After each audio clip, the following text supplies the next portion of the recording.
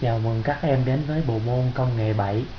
Chủ đề ngày hôm nay chúng ta cần tìm hiểu đó là nhận biết một số giống lợn, heo qua quan sát ngoại hình. Mục tiêu của bài học ngày hôm nay đó là chúng ta nhận biết được một số giống lợn qua quan sát ngoại hình. Đầu tiên chúng ta sẽ tìm hiểu về phần 1 là mã và dụng cụ cần thiết. Chúng ta cần có ảnh hoặc mô hình một số giống lợn như là giống lợn ỉ, lợn Landorat, lợn âm sai, lợn đại bạch. Phần 2 La Mã quy trình thực hành Chúng ta sẽ quan sát đặc điểm ngoại hình về hình dạng chung của chúng ở hình 61 đó là về hình dáng và về đặc điểm mõm, đầu, lưng, chân vân vân chúng ta quan sát hình 61 hình 61 đặc điểm mặt tay lưng của một số giống lợn. Các em quan sát hình A. Ở hình A đây là con lợn Landerat chúng ta tập trung nhìn vào lỗ tai con lợn Landerat à, lỗ tai của con lợn Landerat bao giờ nó cũng to hơn những con lợn khác và nó rũ xuống phía trước ở hình B, chúng ta thấy rằng cái mặt con lợn đại bạch thì nó gãy à, nó gãy. Lỗ tai của nó thì to, nhưng nó hướng về phía trước chứ không rũ như con lợn lăn đầu rác ở hình C, giống lợn chúng ta tìm hiểu đó là con lợn móng cái. Các em quan sát màu sắc trên lưng của con lợn móng cái. Chúng ta thấy rằng nó có lan trắng đen hình yên ngựa.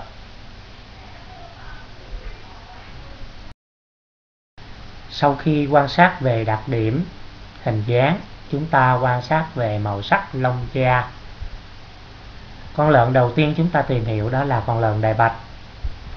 Các em quan sát hình, thấy rằng lông da của con lợn đại bạch thì có màu trắng lông của nó thì cứng hơn lông của những con lợn khác. Chúng ta quan sát tiếp về cái mặt của con lợn đại bạch. Chúng ta thấy rằng lợn đại bạch có gương mặt hơi gầy nên làm cái mõm hết lên. Tai thì to lúc nào nó cũng vẫn về phía trước. À, chúng ta tìm hiểu đến con lợn thứ đó là con lợn Landorat con lợn Landorat này là giống nhập nội. Toàn thân của nó có màu da trắng tuyền. À, như hồi nãy thầy nói tai của nó to nhưng lúc nào nó cũng rũ xuống phía trước mặt. À, không giống như con lợn đại bạch hồi nãy thì lúc nào nó cũng vẫn lên. Chúng ta đi tiếp. Con lợn thứ ba đây là con lợn ỉ con lợn ỉ này đây là giống lợn nội có nghĩa là giống lợn ở nước ta. Nhìn vào chúng ta thấy toàn thân của nó có màu đen. À, mặt của nó thì rất là ngắn nên cái mõm nó của nó cũng ngắn luôn. Trán thì có nhiều nếp nhăn hằng sâu làm cho mõm có vẻ cong lên. Nhìn nó to tròn mẫm mỉm.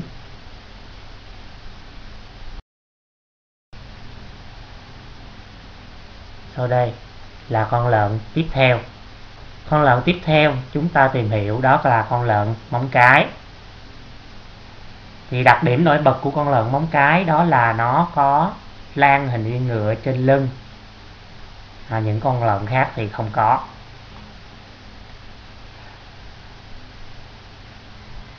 Chỉ có ở con lợn móng cái. À, bụng thì phệ. Chúng ta thấy nó phệ xuống dưới gần như sát đất.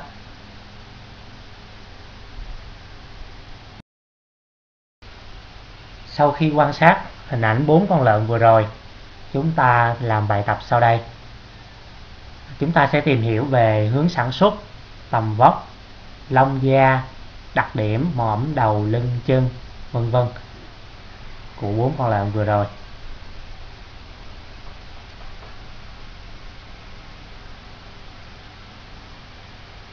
À, các em thấy rằng ở con lợn nghỉ nhìn nó cái hình dáng như vậy thì chắc chắn chúng ta biết nó là hướng sản xuất là hướng mở.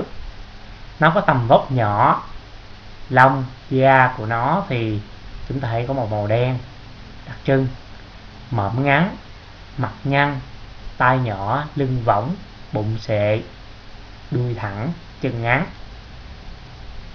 Còn con lợn móng cái thì sao?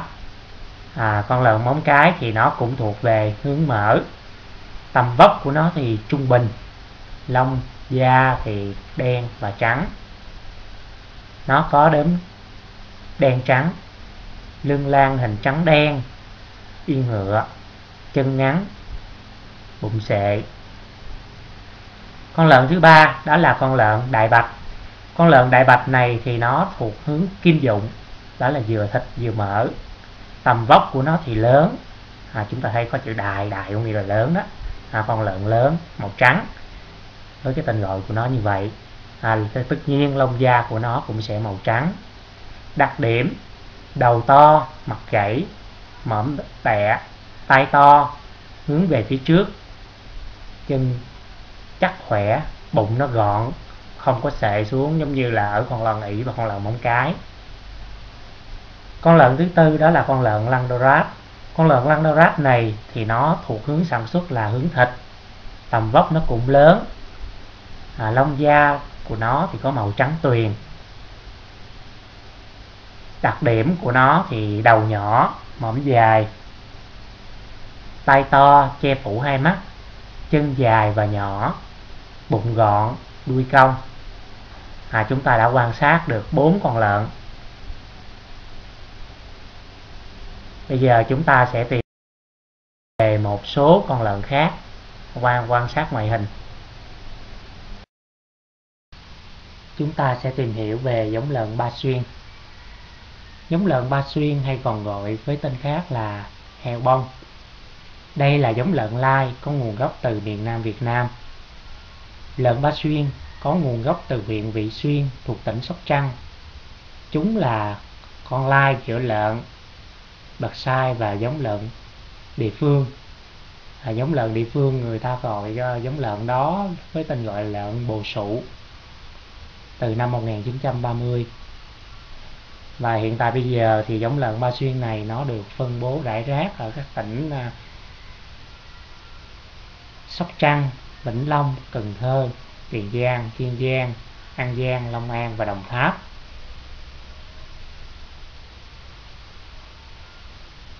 Phần lớn lợn ba xuyên thì có cả bông đen và bông trắng trên da và chúng ta thấy nó lẫn với xen kẽ với nhau.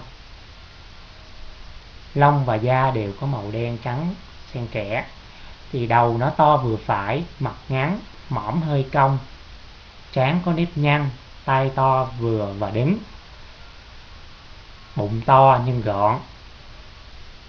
Mông rộng, chân ngắn mỏng xòe, chân thì có hình chữ bát. Đuôi nhỏ và ngắn. Con lợn ba xuyên này, sơ sinh, có khối lượng là từ 350 đến 450 gram trên một con. Trưởng thành thì nặng từ 140 đến 170 kg trên một con. Có con nặng tới 200 kg trung bình thì con lợn ba xuyên nặng khoảng 100 kg lợn ba xuyên có khả năng cho thịt khá tuy nhiên chất lượng thịt còn chưa cao do mỡ lưng khá dày và diện tích cơ thân chưa cao. Độ dày mỡ lưng khoảng 4,35 cm trung bình một miếng mỡ thì dày đến 42 mm tỷ lệ thịt móc hàm thì khoảng 73,31%, diện tích cơ thăng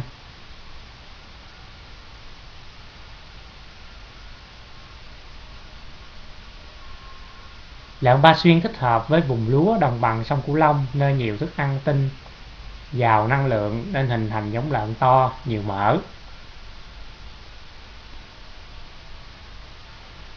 Chúng ta sang một giống lợn khác.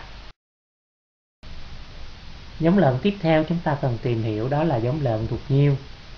giống lợn thuộc nhiêu là giống lợn lai có nguồn gốc từ Việt Nam.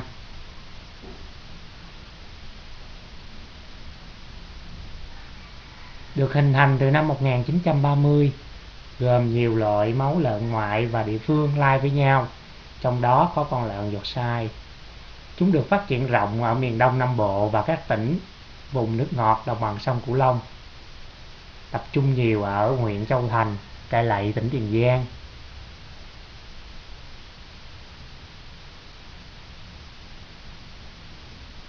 Lợn thuộc nhiêu có lông màu trắng, có thể có vài đốm đen, nhỏ. Chúng có màu lông da trắng tuyền. Một số có bớt đen nhỏ thường ở xung quanh mắt. Một số có da bông đen trắng lông trắng hoặc da bông đen trắng lông đen trắng. Đầu to vừa phải mõm hơi cong mũi thẳng thon tay nhỏ ngắn. Hơi nhô về phía trước. Đa số lợn có thể chất thanh sỏi thân hình vuông thấp lưng hơi hoàng, mông vai nở chân thấp yếu đuôi ngắn nhìn chung thì giống lợn thuộc nhiêu này là giống lợn được hình thành từ việc lai tạo giữa nhiều giống qua nhiều thế hệ và thời gian rất dài. Khối lượng giết mổ là 107 kg. Khối lượng thịt xẻ thì đạt khoảng 79,40 kg. Do lợn thuộc nhiêu là sản phẩm của sự tập giao giữa lợn địa phương và giống lợn ngoại.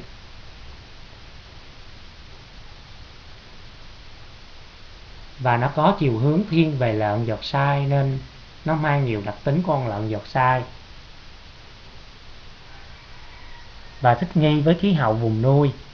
Tuy nhiên do tính chất lai và phương thức nuôi, lợn ruột nhiêu có nhiều mỡ hơn với con lợn giọt sai.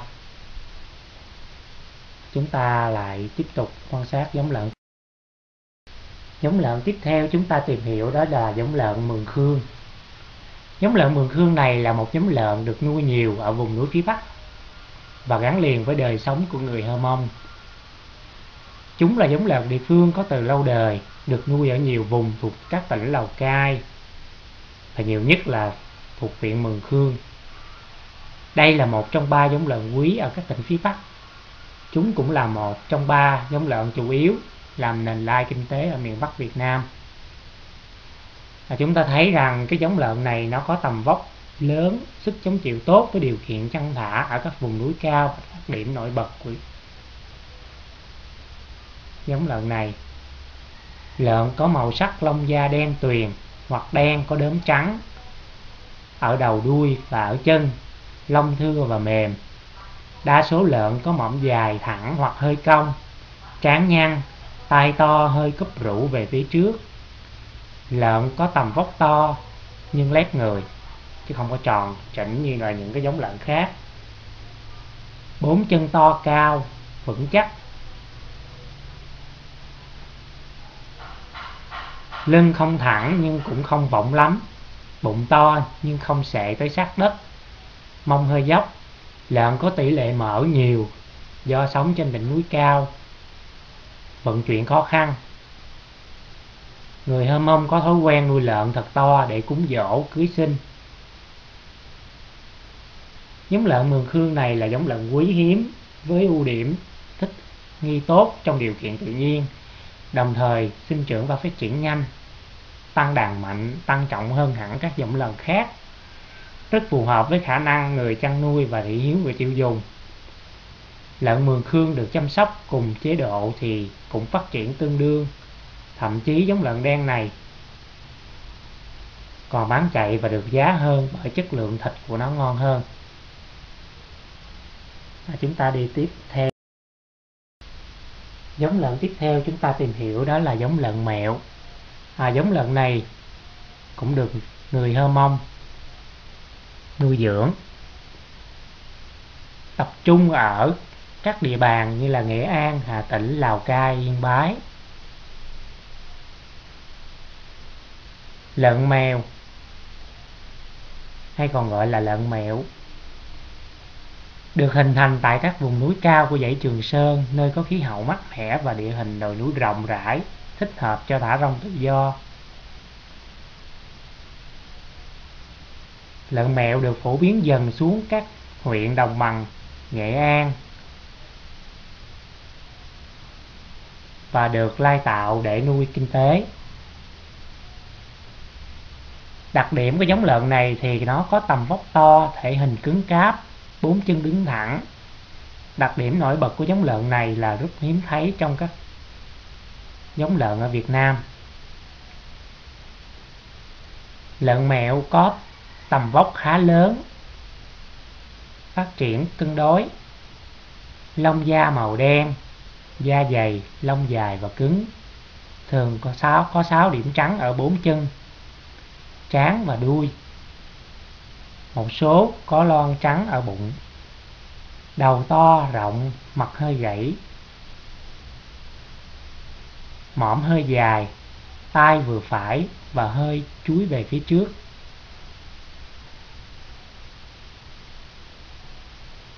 Phần hông rộng và phẳng, mông rộng và chiều cao mông thường cao hơn vai. Bụng lợn to, dài nhưng không sệ. Chân lợn cao, thẳng, vòng ống thô. Đi đứng trên hai ngón trước. Lợn mẹo có khả năng cho thịt tương đối cao với tỷ lệ móc hàm là 83,53%. Dày mỡ lưng thì khoảng 5,41 cm. Thịt lợn mẹo có tỷ lệ protein cao từ 21,36 đến 21,73%. Tỷ lệ limit thì từ 2,72 ở cơ mông đến 7,72 cơ vai. Thịt lợn mèo có mùi thơm, dai, vị rất ngọt và tính ngon. Thịt lợn mèo lại chắc, thơm, ngon ngọt. Vì thế được nhiều người sử dụng và xem như là loại đặc sản. Thức ăn chủ yếu của lợn là rau xanh và củ quả. Được vận động tự do nên lợn mèo có sức chịu kham khổ, bệnh tật cao, ăn tạp, dễ nuôi. Chúng ta đã tìm hiểu một số giống lợn. Thì ngoài ra còn rất nhiều các giống lợn khác các em có thể tìm hiểu trên mạng. À, chủ đề ngày hôm nay đã hết. Hẹn gặp lại các em ở chủ đề tiếp theo chúc các em học thật tốt